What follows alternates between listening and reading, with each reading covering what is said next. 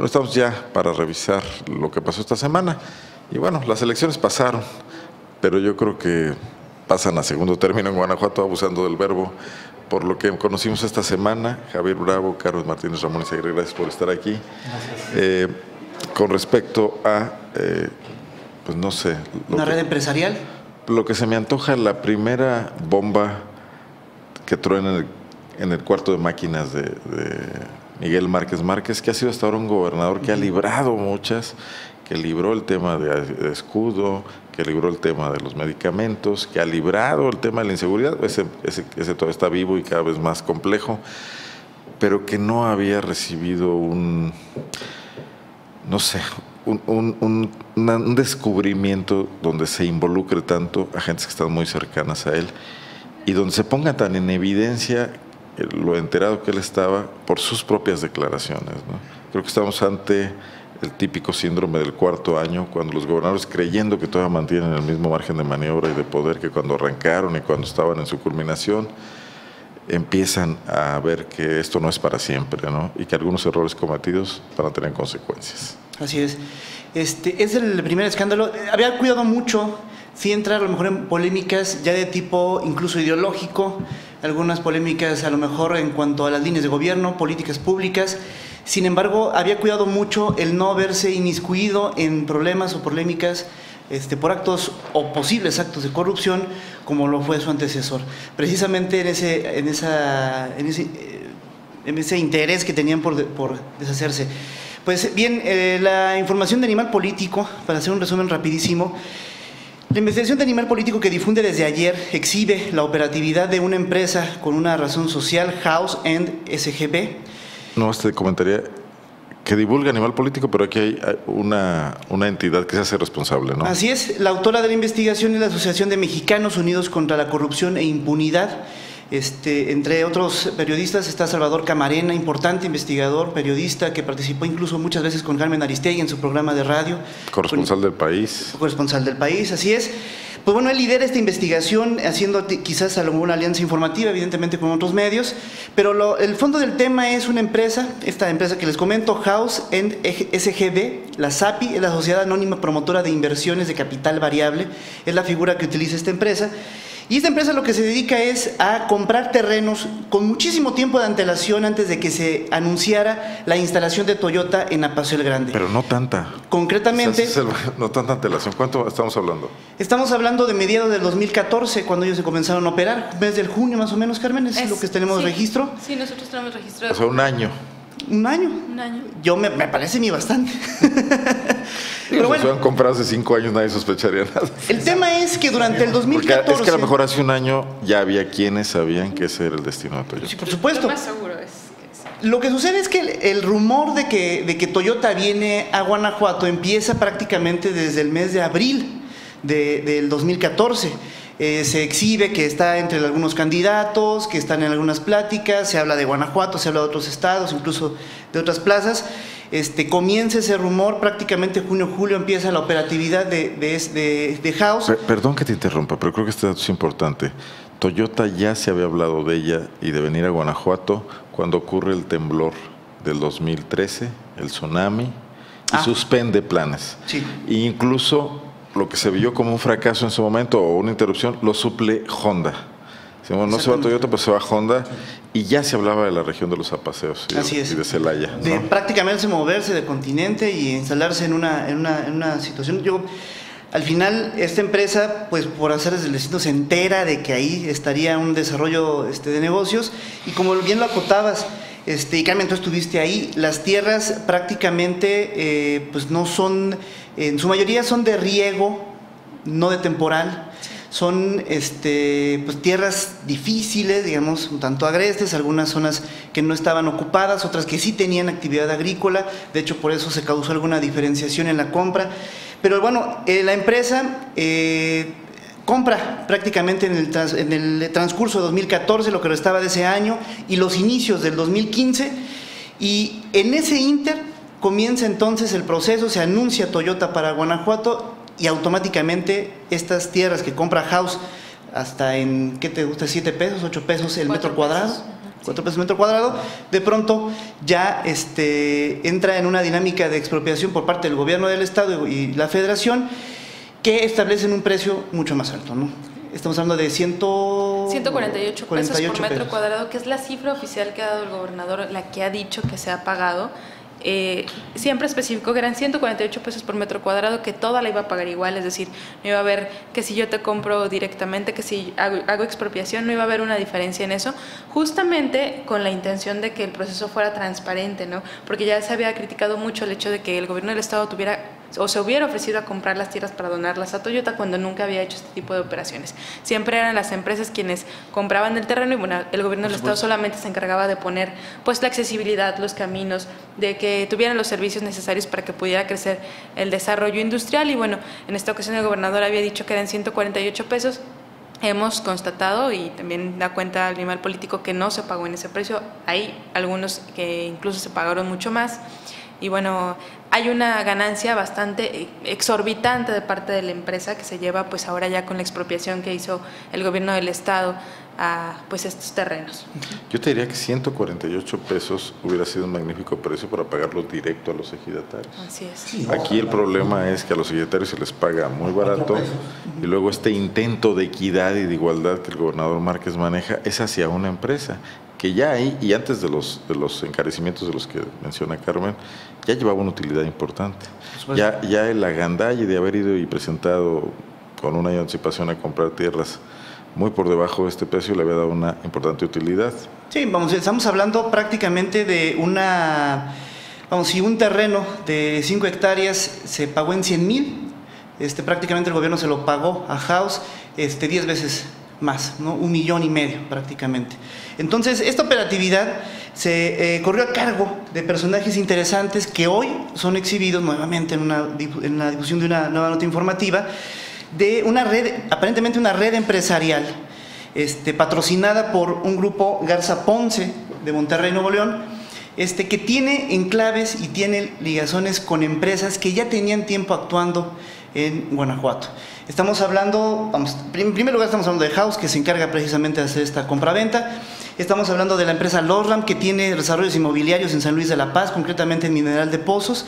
Y eh, estamos hablando de la empresa LASC, ¿no? que también tiene algunas operaciones, pero esta con capital y con este, compartiendo el domicilio fiscal con Losram, entonces en la Ciudad de México. Entonces hay una red pareciera muy evidente este, y prácticamente los personajes que, participan en ella, liderados a lo mejor por José María García Treviño, en cuanto al capital, quizá no en la organización, en la organización, este, me parece, Torno, lo que tienes un poco más clara la película, has venido escribiendo sobre el tema, pero esa es la, la parte importante. Lo que hemos estado observando en Zona Franca a través de estos días y lo que Animal Político difunde el día de hoy, precisamente chocan en el cuarto de guerra de Miguel Márquez, ¿no? porque finalmente es él quien recibió desde su campaña recursos este, de Daniel Eskenazi, por poner un ejemplo, que participa directamente en la, empresa Lorran, y de eh, Ignacio, Ignacio, Ignacio Soto Borja.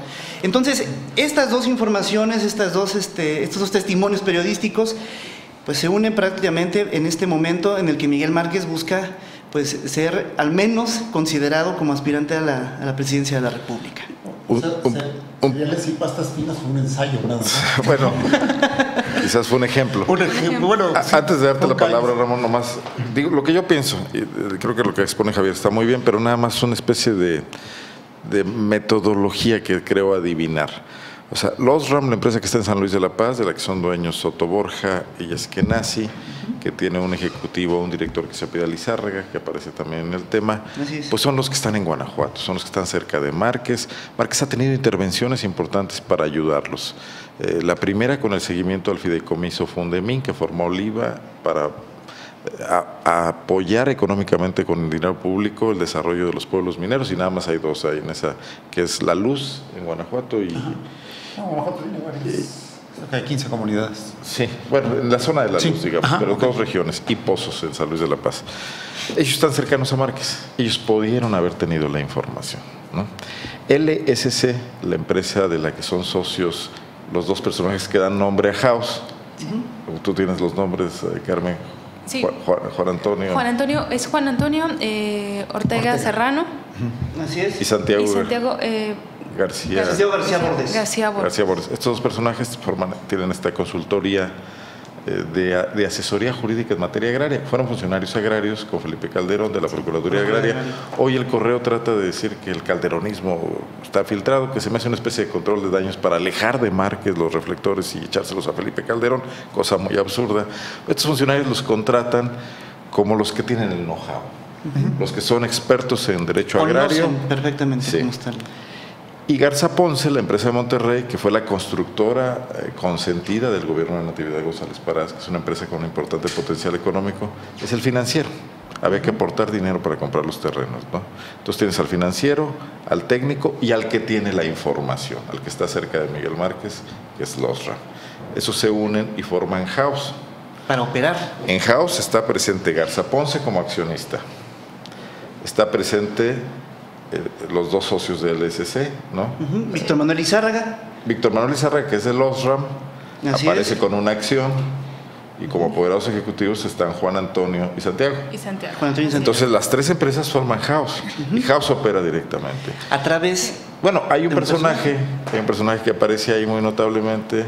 Juan José García Enríquez. Juan José García Enríquez, que es un guanajuatense, es un joven, un joven socialmente conocido en Guanajuato, eh, muy amigo de muchas personas, de los eh, hijos del exgobernador Juan Carlos Romero Hicks, eh, entre otros, que él se, encarga de la operación, da su firma a varias cosas, se convierte en ejidatario, compra y vende, es al que se le expropia los dos terrenos que aparecieron en el diario oficial, pero que él tiene un vínculo también con los RAM.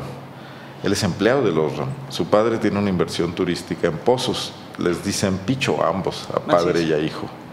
Picho grande y Picho chico. Y, que además eh, Juan José García Enríquez es quien aparece como el apoderado legal de, de House. Entonces, legalmente, pues todos los terrenos salían como a nombre con la firma de, Juan José García Enríquez, que como bien mencionas es de Guanajuato, aunque bueno, los nombres de estos dos empresarios eh, que fungieron en la Procuraduría Agraria de, Felipe Calderón, pues como lo menciona, seguramente serán nada más quienes tenían la experiencia o el expertise para poder concretar de manera exitosa esta operación y ver de qué manera podían llegar. También ahí se menciona, y nosotros, bueno, también pudimos constatar que hubo algún tipo de presión de parte de de Santiago, y eh, que era también uno de los que se hacía pasar por ejidatarios, pues para comprar los terrenos. Los güeros. Los güeros, así les, Y que ya amenazaban con expropiaciones desde antes de que se supiera que sí. ese terreno era para Toyota. Eh, bueno. Ellos decían, si no me vendes a mí, te van a expropiar y te van a expropiar y pues no te va a ir bien, entonces mejor véndamelo a mí. tú lo supiste porque estuviste ahí y lo refleja la investigación de animal político que también estuvieron ahí. Ramón, ahora sí, perdón. No, no, no, no, no, creo que el contexto, el contexto. me parece más que interesante. Sin embargo, este es el contexto, dijéramos, em, empresarial estrictamente, pero pero esto no sería posible sin un contexto gubernamental. O sea, no es una empresa, una serie de empresas que se valen de una serie de circunstancias para, eh, vieron un terreno eh, que les gustó y creyeron que ahí puede haber un desarrollo y empezaron a comprar. O sea, e, evidentemente, esta es la parte empresarial, pero hay una parte gubernamental que es eh, la más preocupante en términos de lo que significa, por eh, tú lo mencionabas hace un rato, Arnoldo, por lo que significa en, recursos públicos, porque significa en corrupción gubernamental. ¿no? Es, esto es lo, grave. Yo decía hace un rato, eh, parece ahora, pues hasta cereales y pastas finas, parece de veras un, una... Pues, pues sí, pero, pero fíjate, Javier, que con muchas cosas corregidas. Y es a las que se refería Carmen. O sea, esta idea de Márquez de decir a todos les compro igual es precisamente por una de las quejas que se dio cuando la investigación de cereales y pastas finas, en donde se mencionaba compras muy baratas y luego precios diferenciados. Los precios de por sí tendrían que ser diferenciados, ¿no? O sea, mencionaban hace un rato, no toda la tierra tiene las mismas características, etcétera. Tendrían que, que diferenciarse. O sea, el, la la forma, la tranza no está este, en la forma en la que se compra a esta empresa, sino la forma en la que se, opera pues, la, la, parte de abajo. Como decía Arnoldo hace un rato, si el ejidatario, si el pequeño propietario de esa zona hubiera recibido ese precio final, hombre, pues qué bueno pero recibió en algunos casos hasta mm, este, 50 veces menos el, valor. Y toda esta operación de esta empresa no hubiera sido posible sin un esquema de corrupción gubernamental.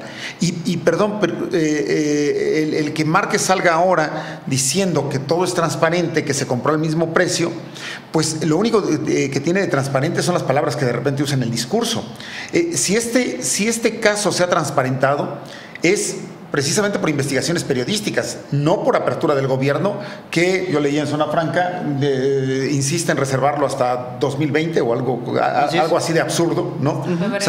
Eh, o sea, bueno, podría decir que hasta después del 18, ¿no? Ya para este, salvar intereses electorales, que sin ninguna razón de nada, o sea, estos contratos tendrían que ser públicos. Y algo que siempre se ha cuestionado es cómo se negocia con estas grandes empresas me, refiero a Toyota, me refiero a, las armadoras o las grandes empresas que han venido.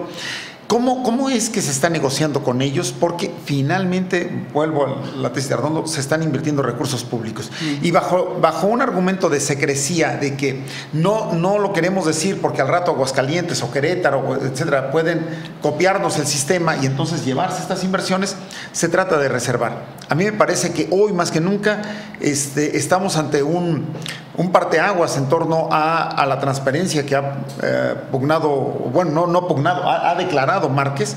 Y si de verdad quiere hacer transparente esto, oía las manifestaciones, los, posicionamientos que tenía, por ejemplo, Betty Manrique en el, en el, Congreso. Bueno, pues eh, tiene todos los exhortos para, para verdaderamente hacerlo y transparentar la, ruta que creo que involucrará un cochinero terrible. Bueno, en primer lugar involucra al subsecretario de Atracción de Inversiones. él recibe un documento, este, el que firma. aparentemente, y que, firma él mismo, él recibe precisamente el requerimiento de la empresa para instalarse qué características debe tener ese terreno, cómo, este, cómo debe de estar comunicado. O sea, él, es, tiene, digamos en términos prácticos, tiene la primicia. Entonces, ¿cómo pudo haber salido esa información directamente a estos empresarios? A tantas personas, digo, porque no fueron dos. Pero el esquema es el mismo. O sea, este esquema por el cual alguien dispone de información privilegiada y casualmente es el que compra los terrenos, a, mí me parece eh, que, es el colmo. Este, este, esquema lo hemos visto en el país y concretamente en el Estado, lo hemos visto en Guanajuato Capital, el, el acceso a Diego Rivera se compraron los terrenos y luego la empresa que compró los terrenos resultó que eh, casualmente es beneficiaria con el contrato y luego resultó con que tenía otros terrenos y luego quiere urbanizar, etcétera. Este es el esquema de siempre sin que haya un gobierno estatal que sea capaz de hacer algo. Sí. Bueno, aquí estamos ante algo más grave, la posibilidad de que el gobierno estatal sea cómplice. Sí, así es. Digo, en el caso del, Diego Rivera quizás fue víctima y nunca supo cómo responder ni ejercer su autoridad, Juan Carlos Romero Hicks, que asignó esa obra. Pero acá me llama la atención, bueno, hay un personaje en todo esto que no aparece, que difícilmente aparecerá, pero que yo voy a mencionar, que es Rafael Barba Vargas.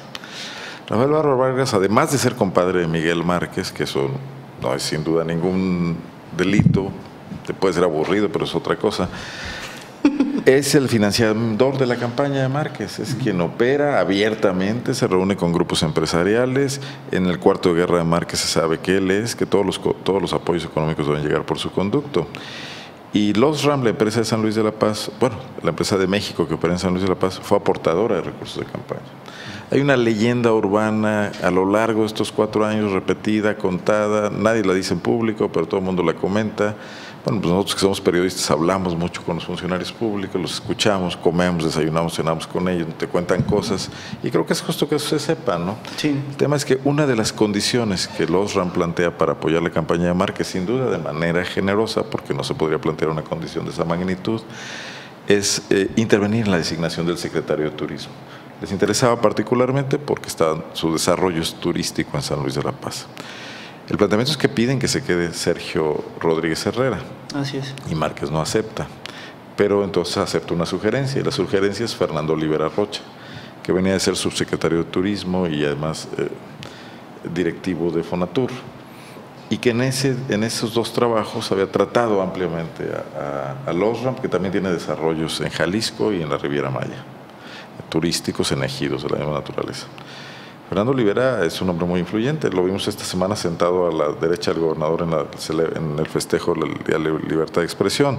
Su subsecretario, eh, con el cual llega, que es Enrique Avilés, es hoy el vocero de Márquez también, tiene una actuación, un papel preeminente también en el gobierno. Eh, bueno, pues es, ese mismo grupo LOSRAM el que hoy está participando en la adquisición de los terrenos de Toyota a través de House, ¿no? Son cercanos, son muy cercanos. Ah.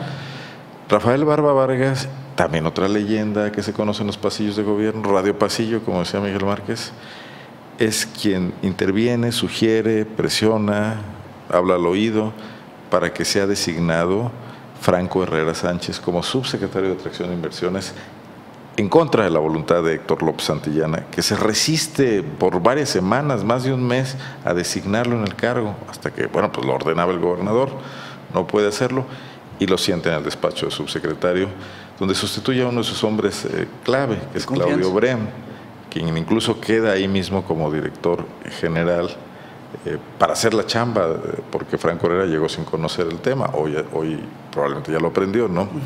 Entonces Rafael Barba está en dos, en dos frentes, está en el frente de Eskenazi, comprador de los terrenos, o, a los ejidatarios y vendedor de los mismos al gobierno, y está en el frente de Franco Herrera, es el que adquiere a través del gobierno del Estado. Estas cosas no se pueden probar, como dice Márquez, eh, probablemente no sean ilegales, pero ahí están y van a marcar mucho lo que se piense y lo que se perciba de este gobierno en el futuro. Bueno, y hay un antecedente clave, el, terreno del C4, del Centro de Seguridad Ciudadana en Salamanca, este, Franco Herrera, su hermano Alejandro Herrera, director del Sol de, Irapuato, también se vio involucrado en esa compra, también con especulaciones. Ahí se habló de un este, doble precio, de 25 millones, se fue a 48 millones ese, ese terreno este, que también Alejandro Herrera pues, tiene una gran relación con, Rafael el Gallo Barba.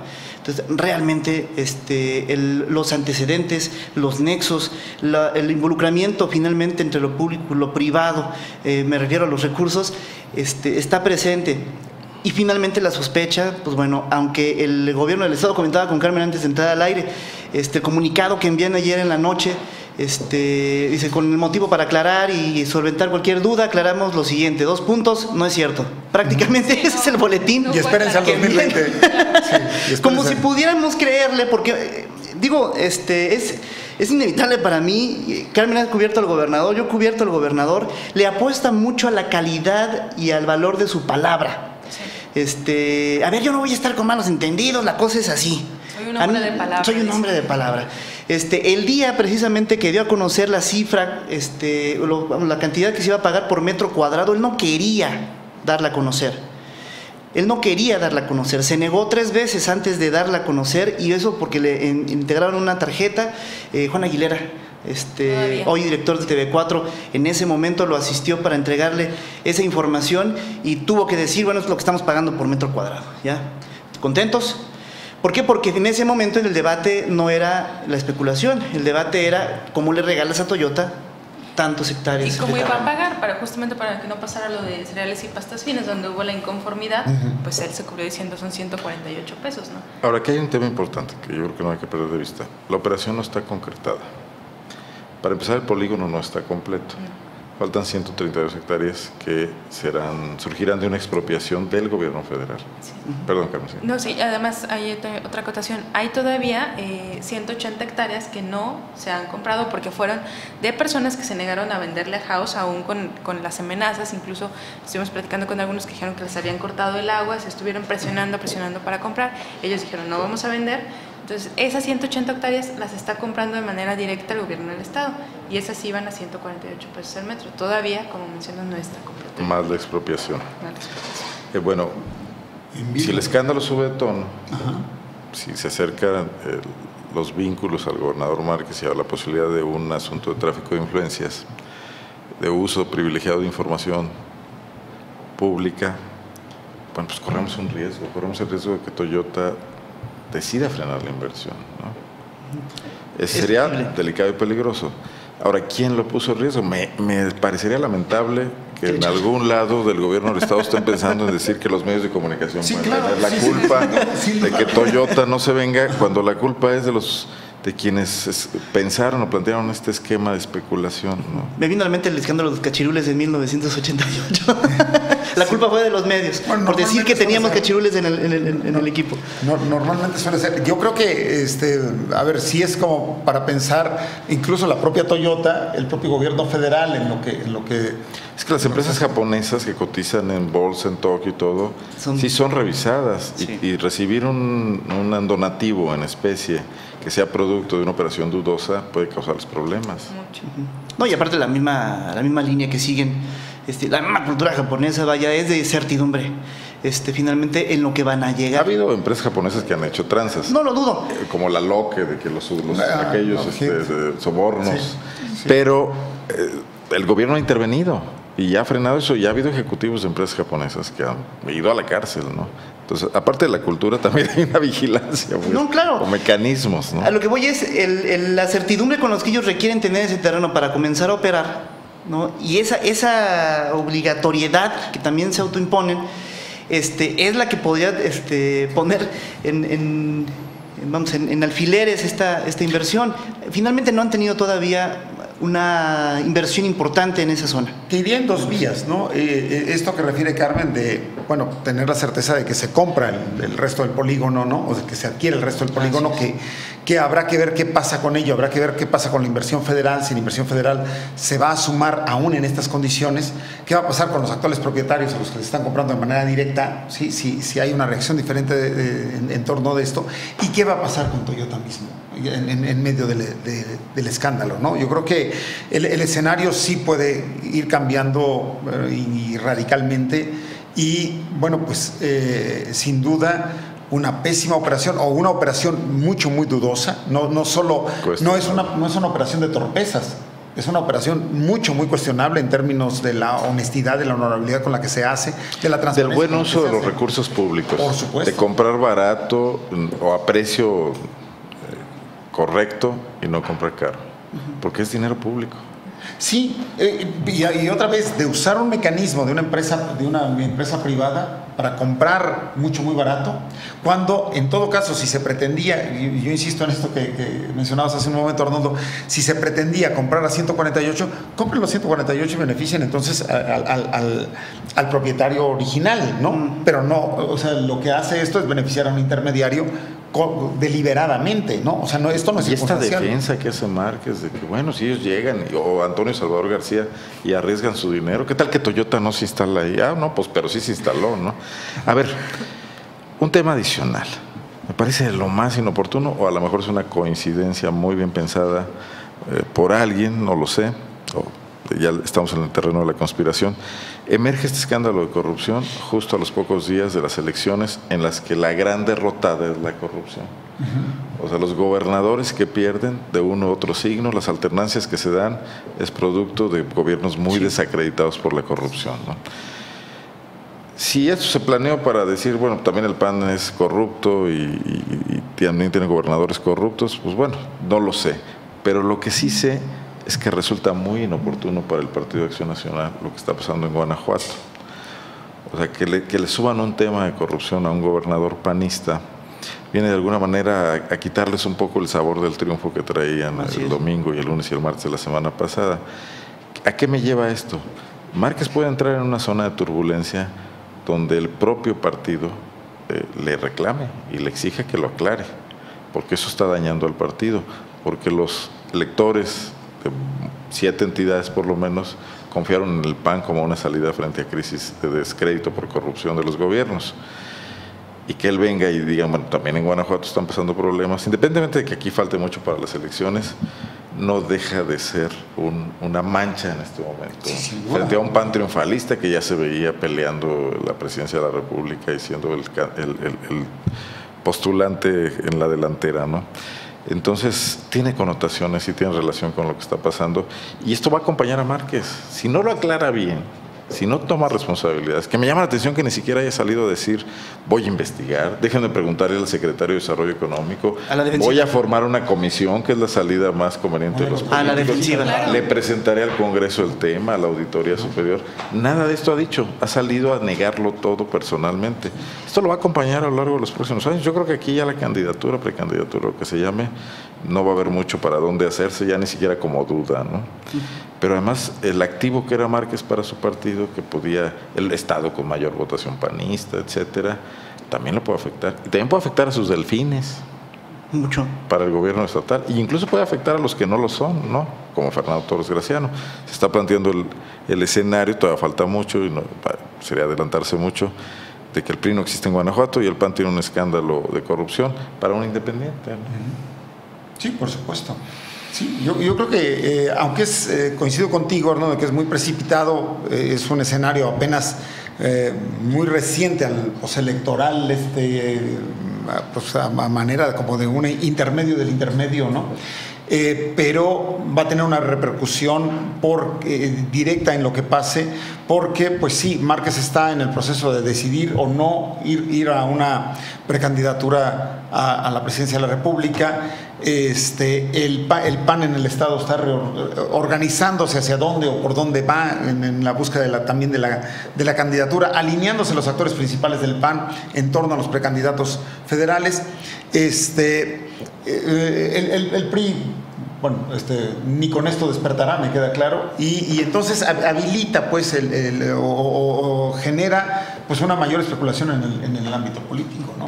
Yo creo que aquí la pasividad de la oposición está jugando un papel fundamental. El tema ya lo tenía Rigoberto Paredes Villagómez. Él fue incluso alguno de los, más bien de los primeros que dio declaraciones al decir, sí, yo sé porque los campesinos me han dicho, que se le están pagando, que hay una empresa. Y el hecho de salir a la defensa prácticamente en esa misma declaración con el gobernador habla ya de un desparpajo total. Complicidad. Una complicidad. yo, de lo que alcancé a ver poco antes de que entrábamos al aire, insisto, el posicionamiento más más claro, por lo menos lo, genera Betty que de, Javier se refiere a lo que pasó la primera vez cuando salió el ah, desplegado en, el correo. Y, desde hace mucho tiempo. reclamó y luego rápidamente convalidó.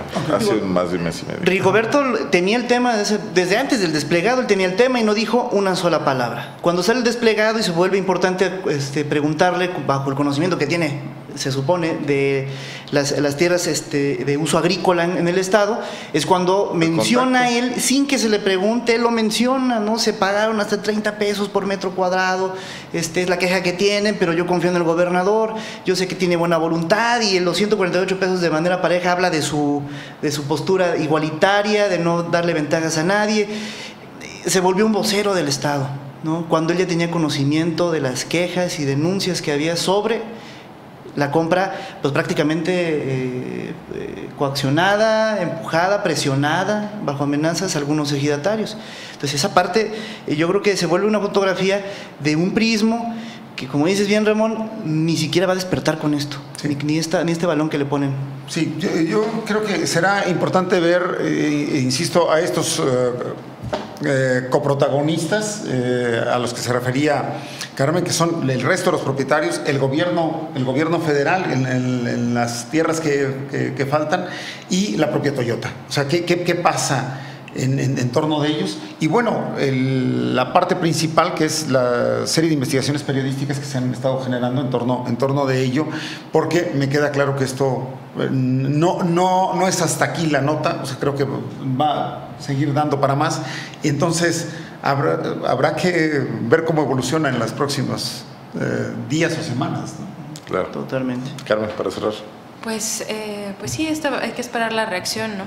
de, los partidos. No han salido a dar ninguna, ningún tipo de reacción, como dice Javier Rigoberto, para tener la información. Yo creo que hubiera sido eh, pertinente, incluso muy conveniente políticamente para el, para el PRI de una vez soltar o pedir la investigación ya con la información que Rigoberto tenía. No se hizo. Hasta ahorita pues tampoco han hecho eh, un gran exhorto. Vamos a ver qué pasa con el gobernador. Ojalá que pues salga a dar al menos una explicación más coherente, no como este comunicado donde dicen, pues se forma una comisión y estamos haciendo todo con seriedad y transparencia. Ajá, pero ¿cómo con seriedad y transparencia? ¿Cómo sustentas que está siendo serio? ¿Cómo sustentas que está siendo transparente cuando no te, no te has comprometido a hacer una investigación? Cuando dices, no, pues que yo no sabía, o Franco Herrera, que se lee en esta investigación que, que dice que él no sabía de la existencia de esta empresa, cuando él tuvo que haber firmado, pues, ¿cómo no iba a saber? Animal Político revela que es amigo en Facebook de, Picho.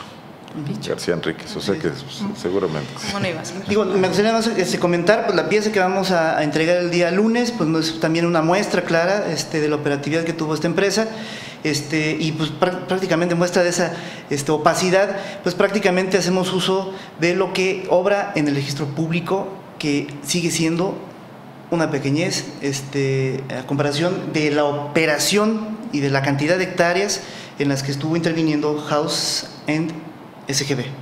Muy bien. Bueno, pues gracias. El tema sí seguirá abierto. Es una cuestión en proceso. La llegada de Toyota, la instalación, la liberación del terreno, la obra pública que se le va a hacer para darle acceso, porque también hay que hacer puentes y una serie de cosas, más millones de pesos.